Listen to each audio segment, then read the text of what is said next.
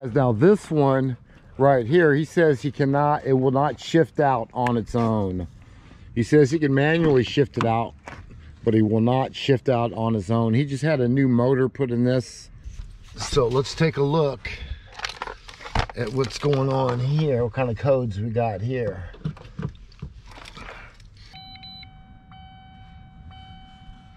All right, we have a AIC valve opening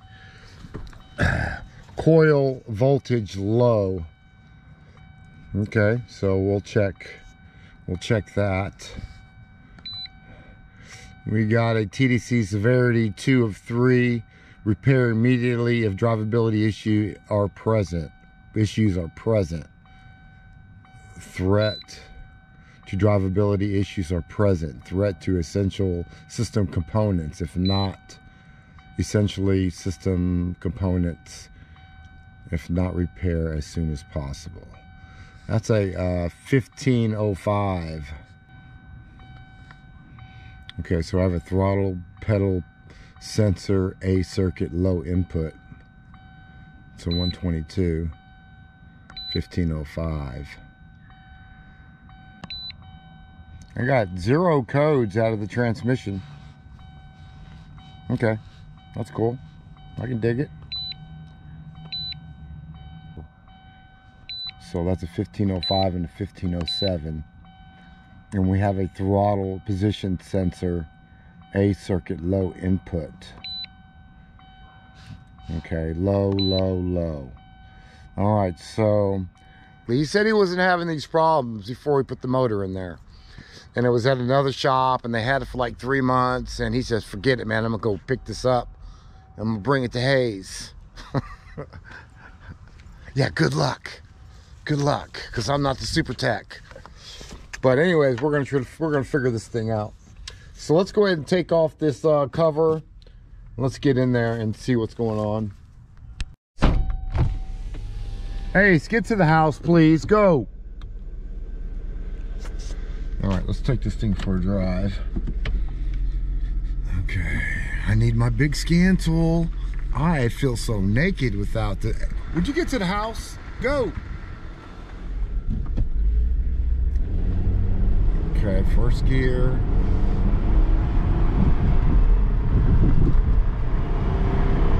Yeah, it's not coming out of first gear. It's not coming out of first gear.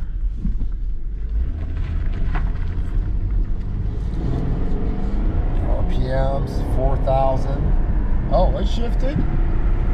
It shifted late.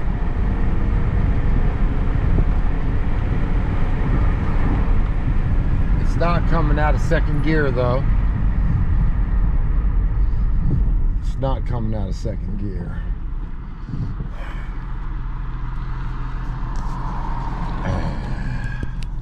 Let's try that again. I don't know what he's talking 4,000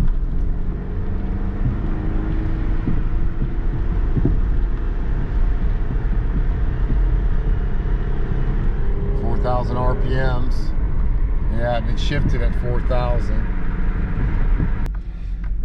Trying to get some space because I'm running up on that truck. I almost hit 4,000 so I could get in the third gear if it's going to make it. Let's see if we can do it. Shifts at 4,000, second gear.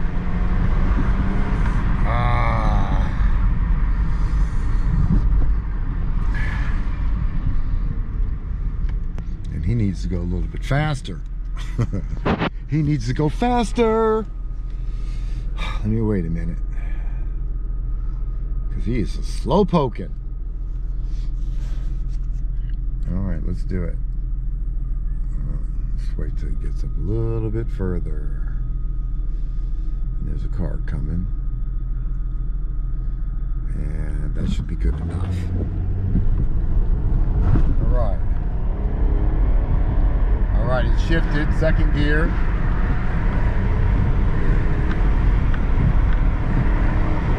Yeah, third gear.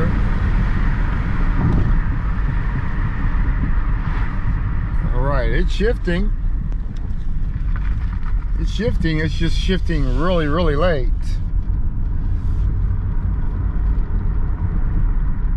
So let's go.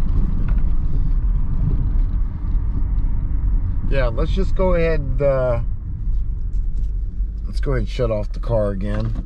Let's clear codes. clear all codes. Check engine light's not on anymore. Okay. System status. Okay, scan all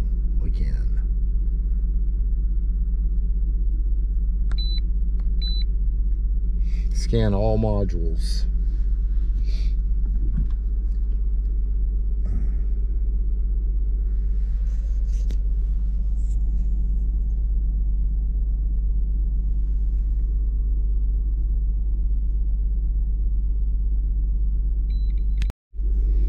All right, it looks like the codes came right back. Yep, same code, same code. O2 sensor, throttle position, pedal position sensor, low input. All right, so those are the codes we're going to be dealing with. I think I'm going to start with the uh, throttle position. I think I'm going to start with that first. P0122. All right, guys, let's go ahead and get on ALLDATA real quick. And let's get a diagram. 05 Kia Sportage is what it is. Okay, it's just shifting really, really late, like 4,000 RPMs. Kia Sportage. Two-wheel drive. It's got a 2.7 liter motor in this one. Yep, 2.7 liter motor. Let's go to uh, powertrain management. We can go to, uh, I believe all this is going to be connected. And what I do know is uh, I can erase all three of those codes and they will come back immediately, immediately, all of them. So I'll kick that on. Keys in the on position the PCM supplies. Hey girl, what's up? Supplies 5 volts. I see 12 volts. All right, that's the wrong one. That's the TP sensor I was probing right then. Okay, it's 2.8. It's good ground. And there's 5 volts right there. There's five volts right there on the uh, on the idle air control valve. There's my ground on the idle air control valve. And I have a, a voltage of 2.8 on the other one. So that may be normal. I've seen those kind of numbers before. So that's going to be right here. Go ahead and plug that back up again. This other plug right here is going to be the uh, TP sensor. Okay, that I think is going to be where our issue lies. Let's get some voltages out of here. I have uh, 5.59 on, I don't know what color wire that is because it's 12 volts. And I have 3.7. I have no ground tone on the TP sensor. So let's get a schematic up on the TP sensor. I think our issue is going to be in the TP sensor. Or at least in the wiring. I don't believe it's the sensor. Could be but uh, I'm not getting a ground tone so then I should be getting a ground tone. Let me double check that guys. 0.59 all right 0.59 you guys see it? Key is in the on position. 12.44 volts. That is battery voltage. And I got 3.75 on the other one. And I'll go ahead and pull back the the uh, the loom a little bit. It looks like there's going to be a blue wire a pink wire and a white wire on there. And I'll pull that back so we can take a better look see just does that jumps back and forth. Okay I really don't know what that means but that doesn't look right obviously so that was that was pin two and three guys now looking at the schematic the black and orange wire should be on the TP sensor so what they did was they just put this connector on the idle air control valve and that one on that one. So I'm gonna start this thing up and let's see if those codes go away.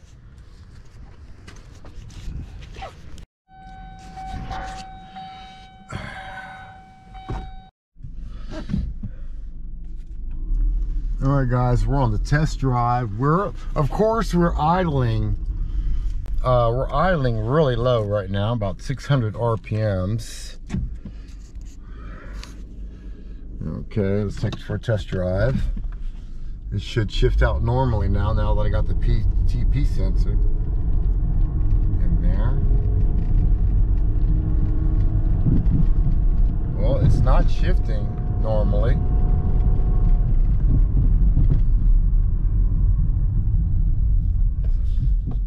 No, the check engine light's not coming on again, but it's definitely not shifting correctly.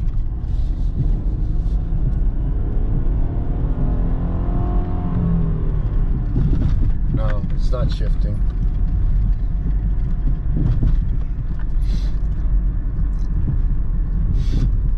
Well, I guess it's not done. Check engine light's still not on.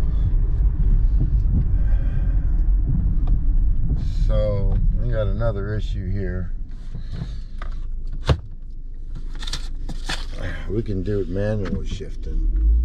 Let's see if we can do manual shifting.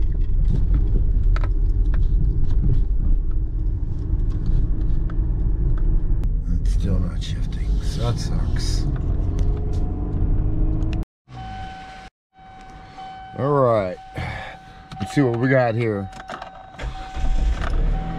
All right, so we started up now. Now the RPMs go up to uh, 2,500 RPMs. Check engine light does not come back on immediately anymore. Uh, so yeah, we fixed that.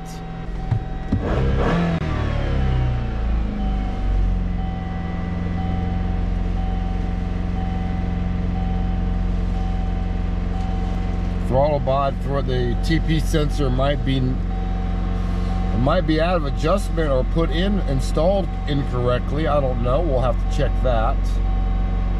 Uh, yeah, I think that's what we're gonna do. The wire connectors on the TPS and the idle air control valve, they were on the wrong, they were on the wrong uh, pieces. So we're back. So we're looking at it again this morning because now we have a high RPM. I'm gonna check the TPS for that. Uh, check the throttle body. It looks like it's a brand new throttle body they put on here. Brand new TPS sensor and a brand new idle air control valve. These connectors will actually fit on, they'll just switcheroo on it. So I switched them back right. Uh, the check engine light is not coming back on right now, but let me crank it up for you and we'll show you what's going on right now with it. Uh, we got a couple to do today. We got this Dodge that I had a water leak on, uh, several water leaks actually. Uh, so we got this one taken care of, went to the dealer and picked up parts for that. And we're just gonna take care of this one today. And that's gonna be all I'm gonna do today. So let's get to it. Let me start it up and let's see what it sounds like. It's still kind of cold. I let it run for a couple minutes, about 30 minutes ago. RPMs are really, really high. I hit the gas a little bit.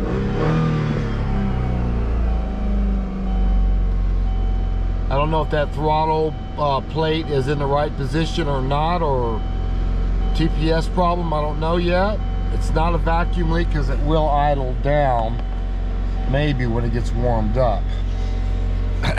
One problem that I am having is I don't have my scan tool. I had to send it away to get repaired because it was shutting in off and on. You guys know about that already, I think. I think I mentioned that. But, uh, or maybe that was a video I didn't put out yet. It might be that. So, anyways, guess we can check. I didn't check for an engine light. Engine light's still not on. So that's fixed. So we have another issue. It still shifts. Uh, Shadow, get over here. It still doesn't want to shift on time like it's supposed to. I'm just going to unplug the, uh, the TP sensor.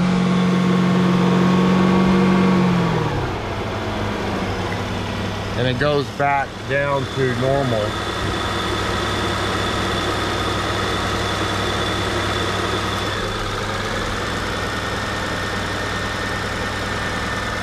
Okay. I wasn't expecting that, but it was worth a shot. So the TP sensor is acting funny. All right, guys, this is the throttle position sensor we're looking at right now. So you see with you have the, the black and the orange stripe right there. That was actually on the idle air control valve. Uh, so I just swapped them over. But how would you know that if the connectors fit it doesn't matter where you put the connectors, they'll fit. Uh, the only way that you can really know if you got the right connector is you have a wiring diagram, right? So uh, you guys got to try to get some wiring diagrams, get a some kind of service, like I said before, to help you out a little bit. I'm thinking we got something wrong with this, uh, with the TPS, or it's not in there correctly, and it's it's showing the throttle plate opened more than it should be. Or I got a bad sensor. It's a brand new sensor. Not you know not saying that a brand new sensor can be bad because ever since COVID hit I've been doing a lot of bad electro electrical parts. I'm just saying. So let's get the uh, I'm gonna have to get the idle air control off as well because it's in my way so I'll pull that off, I'll pull the sensor out of there, and we'll just do this job over again, just to be on the safe side.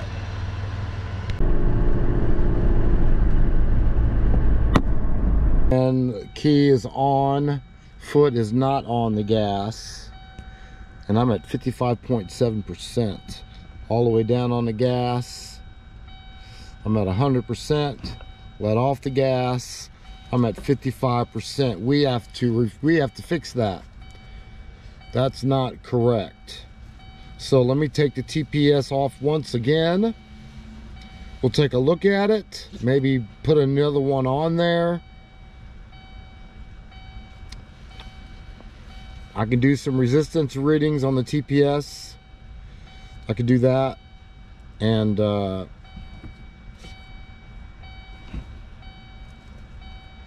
Yeah, foot's all the way off the gas. It's not sticking. Okay, it's not sticking. Okay, so we're at uh, on startup. It's around 800 RPMs. I'm still at 55% on the TPS. Let me just barely touch it.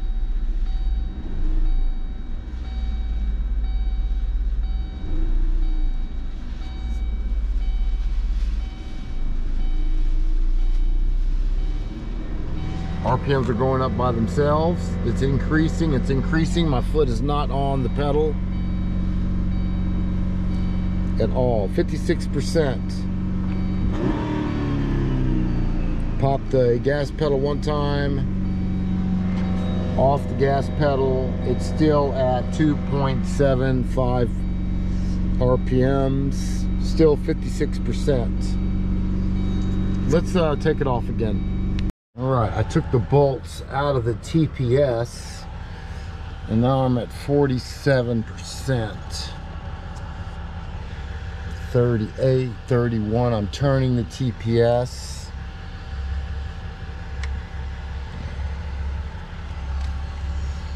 Take a look at this TPS sensor.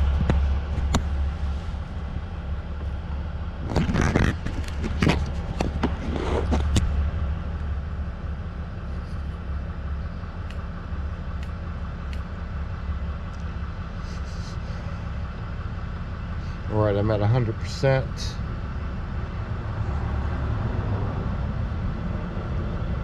All right, I'm at 3%. All right, I'm turning it. 100%. 3% is right there. So that's where I need to set it, right there, something like that. Let me double check going uh, clockwise is increasing the value. I know you guys can't see the scan tool, but let me get you over here. Scan tool, I'm turning it clockwise. You can see the percentage is raising 100%. I'm gonna let it go. It's spring, it's spring operated. Okay, now on the release it's 2.7. So I need to set it, I need to set that. And you see down in there, you have two little ears on there.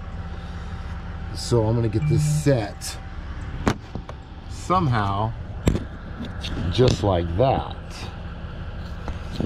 I've never had problems putting in a TPS before, but this one's kind of weird.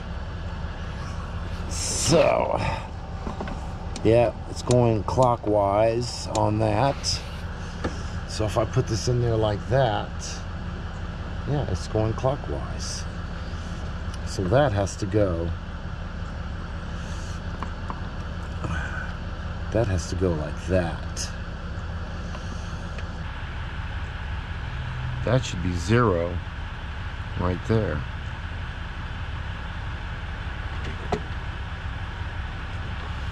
All right, I'm gonna click this over and just look at it. I can't get 100% on that one.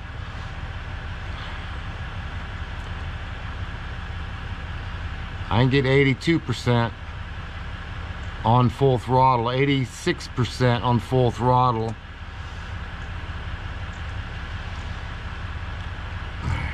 Like 6.3 without pushing down.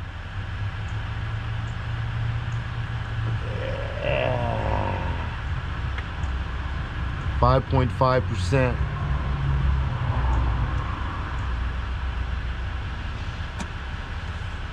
You know what? I can't do it any better than that. So let me put these bolts back in it just like it sits.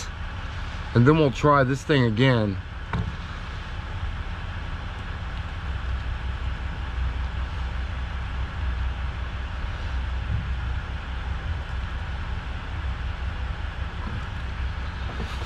Okay.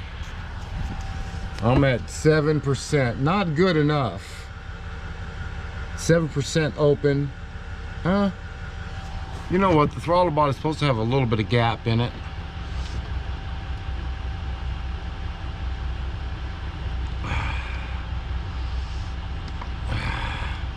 I don't know.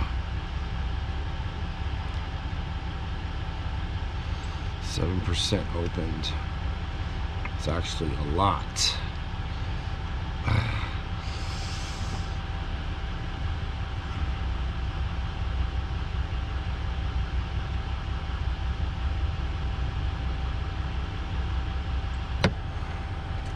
Let's put this other bolt in there.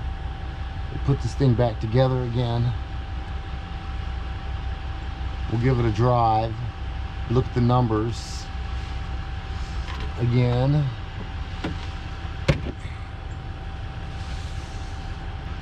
And we'll go from there. I'm at 7%. It's not too terribly bad. It's not zero. We're gonna give it a shot. You might have to take this thing back off again, but yeah, it's an 05 Kia. I'm not real happy with the scan tool either. I'm sure it's doing an okay job, but I'm just used to my scan tool.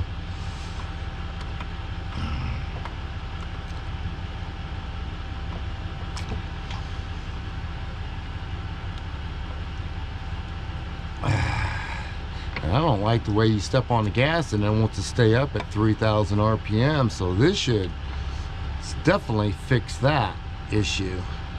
Maybe it was all the TPS adjustment.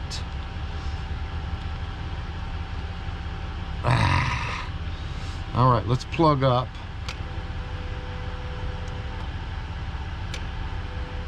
There's a humming noise when I when I plugged up. That's not right. There's a humming noise. I felt that earlier. Key is in the on position. And that idle air control valve is like humming. That's not supposed to happen.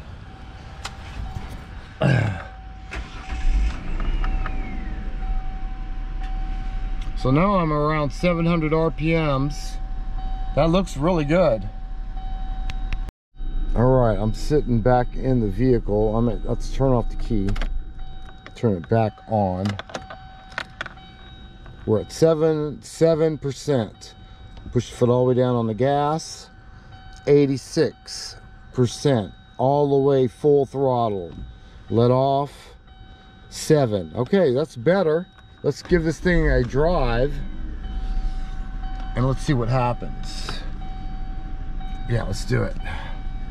Hey, stay here. I'll be back.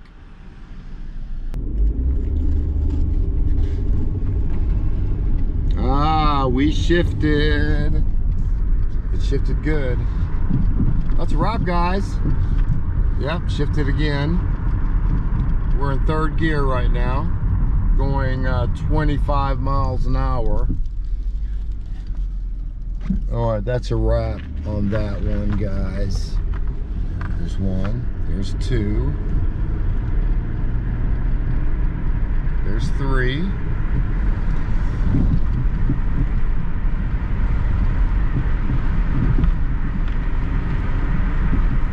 And there's four. All right, guys, that was just a, uh, a poorly adjusted TP sensor, not only by the guys at the shop and the other guy that tried to fix it, but myself, because I did it the same way.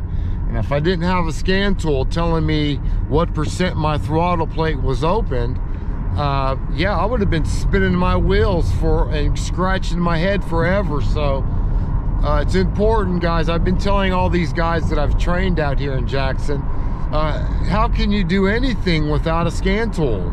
I mean, a code reader is, is a good start. If you got a code reader, at least it gives you a little bit of direction. Uh, and especially, well, you have to, well, actually, code reader's fine, but you actually really need something with live sensor data on it. Uh, and then, you know, upgrade or just go ahead, go out all the way out and get you a nice bi-directional scan tool uh, so you can read stuff like this and saves you time. So I'm done. So I'm gonna go home, I'm gonna button it up, tighten up my bolts, and call the customer and say, hey man, you come pick this thing up. Uh, we do have this one uh, left on it and uh, I'll post a little bit of the clip on this video. I'm at a standstill right now. All right, just a second part of this uh,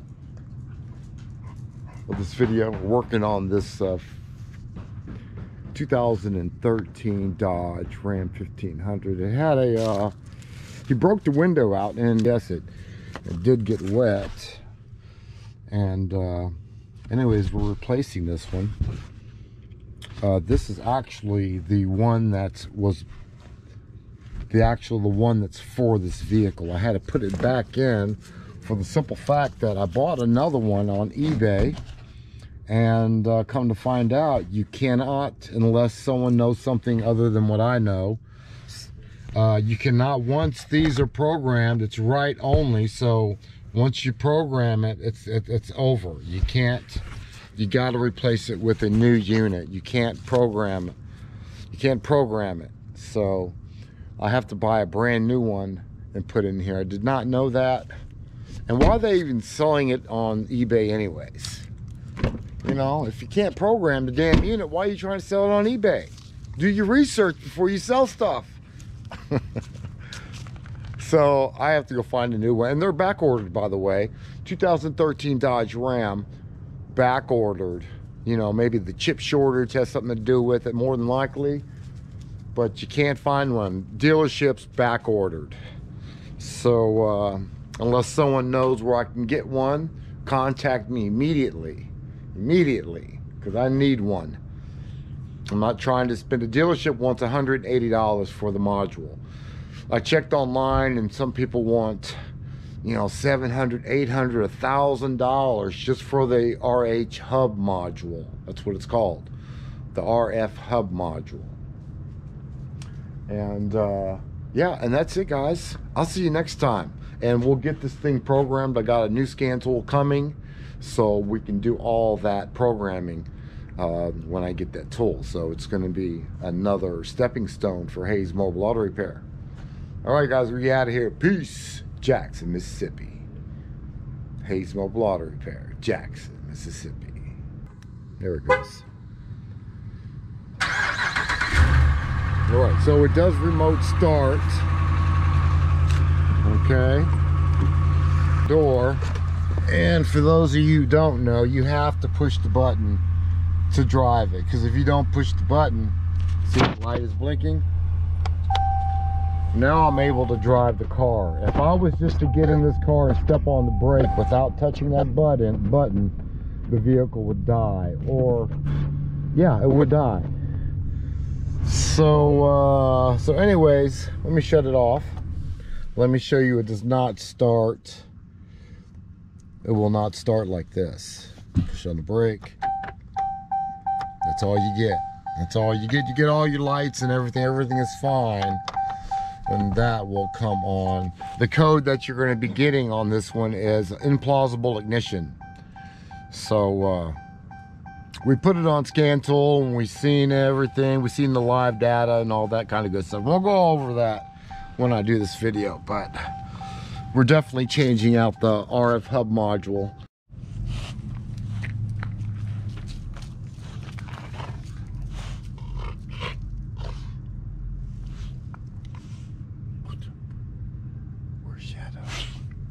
Where's he at? Go get him, Ace. there he is. There he is. Get him, Ace. Go get him, boy. Shadow. Shadow, come here. Shadow, come here. Let's go. Ace is ready to get him. Shadow, come here. Ace is gonna get him. Ace is gonna get him as soon as he gets over here. There he is. There he is.